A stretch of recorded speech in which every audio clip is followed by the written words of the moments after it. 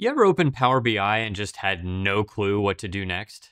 You've got data, but now what? What charts do you build? What even matters for a dashboard? That's the blank page problem. And today I'll show you how Copilot makes it disappear.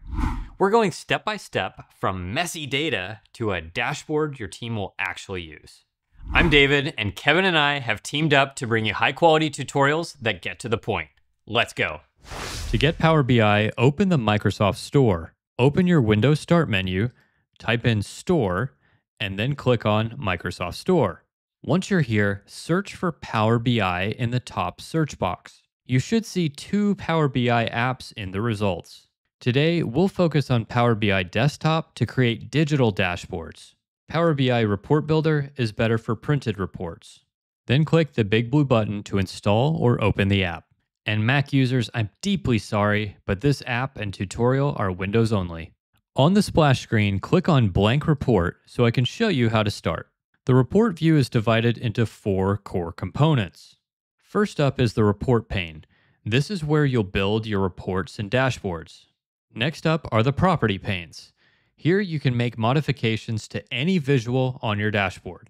Then there's the ribbon to shortcut your way to common tasks. And yeah, I know you're eyeing that shiny Copilot button. We'll get there in just a minute. And last but not least is the view switcher. Now, making a dashboard without data is like making a donut without the dough. It just doesn't work. So let's get that data in here. Grab this Excel file from the resources section in the description. Then back in Power BI, click the Excel workbook button in the ribbon. Then select that file to import all the data. Here you'll see the two tables in that workbook. When you select a table, you'll see its data preview on the right hand side. This first table has sales data for David's Donut Den. The second table has address information for each store. Once you've selected your data, you can choose to load it or transform it.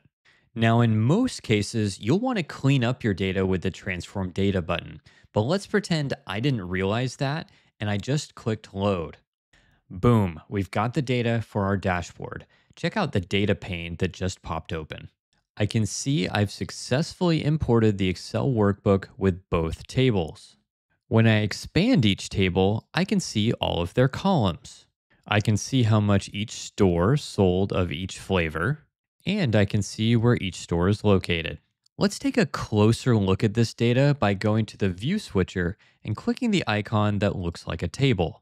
The sad reality is that data is messy, really messy. For example, this flavor column has a weird mix of lower and upper case. To clean it up, click on the Home tab in the ribbon and then click on Transform Data. This opens the Power Query editor. If you're not familiar with Power Query, think of it as a way to manipulate and transform your data and then save those transforms as a set of steps. Then you can easily repeat those steps even if the source data has changed. So let's fix this flavor column. You can right click on a column header to bring up common transforms.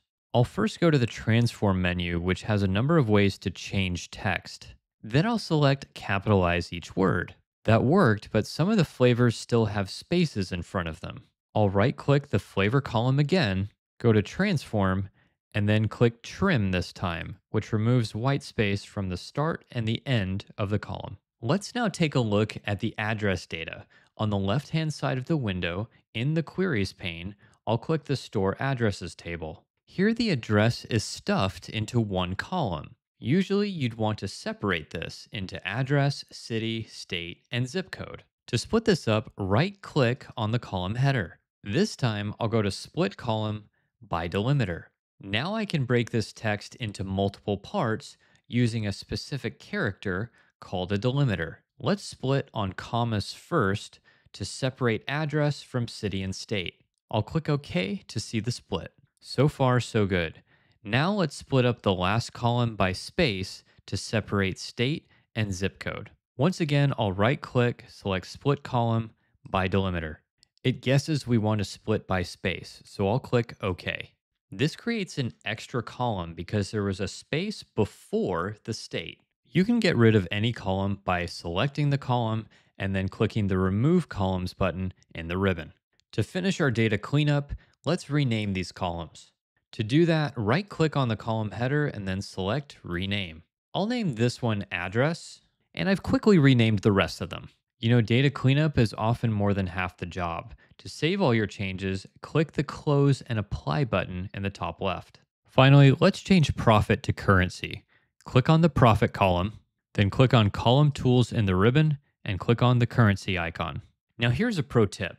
Before you start building reports and dashboards, you've got to check your data model. To do that, click the Model View icon. That's the third icon from the top in the View Switcher. On this page, you'll see your data model, which includes all of your tables and how they relate to each other. Check out this table relationship here. See, Power BI inferred that the store number column in the store addresses table and the store number column in the profit by flavor table were the same. We'll see the power of this when we start building our report page. Now, if for some reason Power BI does not infer the relationship, you can always create one manually by clicking and dragging one column from one table onto the column it matches in the other table. Now we're done on this page, let's start building our report. Click on the chart icon in the view switcher to head back. Here we are at the number one problem, a blank page. What visuals should we put on our dashboard? Let's call on Copilot to help. Click the Copilot button at the end of the Home tab on the ribbon. Now, if you see a dialog like this and you can't select a workspace, then I'm sorry, my friend, you don't have access to Copilot. You can still follow along with the video. Copilot is just a shortcut. But if you want to enable it, check out the description for step-by-step instructions. Back to the question at hand, click the suggestion which says suggest content for a new report page. Now it might seem small, but getting these suggestions can really speed you up as a beginner data analyst. With each of these options, you can choose to create the page right away or edit the prompt before you submit it. I want to see the most popular flavors, so I'll click create on flavor popularity. It gives us the top five flavors in an embedded chart. But now that I see this, I actually want to see all flavors popularity over time. So I need a prompt for that. Here's an example of what could work. Actually, show the popularity of all flavors over time. And look at that, you're not stuck on a blank page anymore. Now you can keep adding charts through Copilot, but I'll add one manually so you can see how it works. Power BI has a lot of different visual types you can choose from, each of which represented by a different icon. For example, to rebuild the chart in the middle, you can select the area chart icon. Now that we've got the right visuals, I'll show you a few common display settings you can change.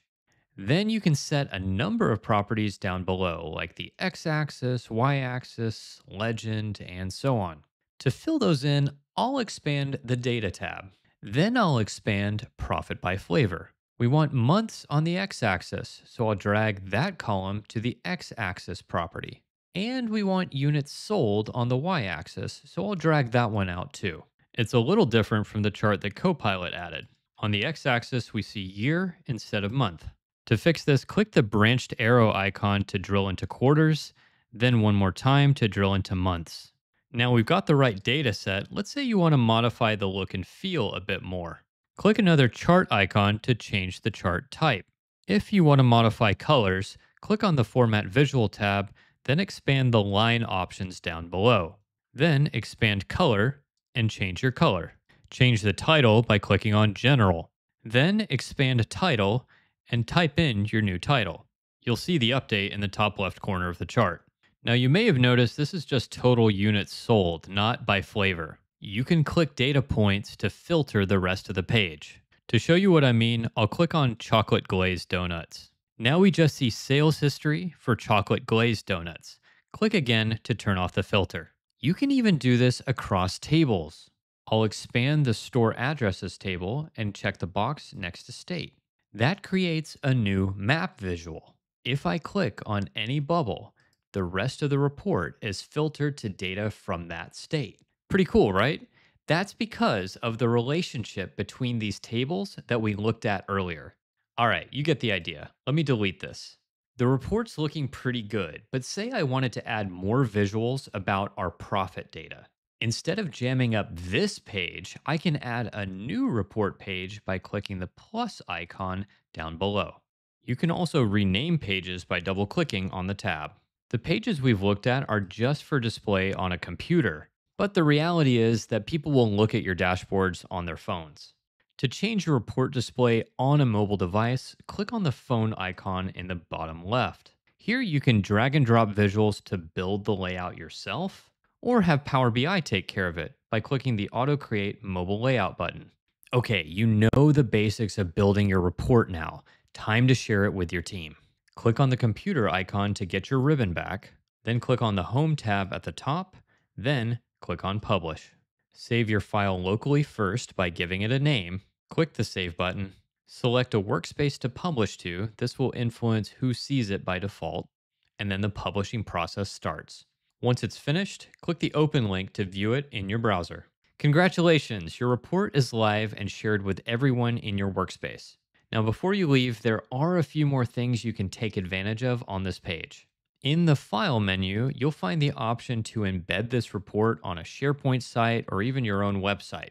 You can also create a QR code to make the report easily accessible from a mobile device. On the Export menu, you can export this as an Excel file, PowerPoint, or even a PDF. And if you want to share this outside of your workspace, click the Share button where you can copy a link or email it to someone directly. With the subscribe button, you can send this report weekly to people. And finally, with the set alert button, you can get notified when certain data changes. Fantastic job. You've just learned the basics of Power BI. You imported and cleaned your data, built impressive visuals both manually and with Copilot, and shared your reports with your team. Thank you so much for watching. Drop a comment on what you want to see me cover next, and I'll see you in the next video.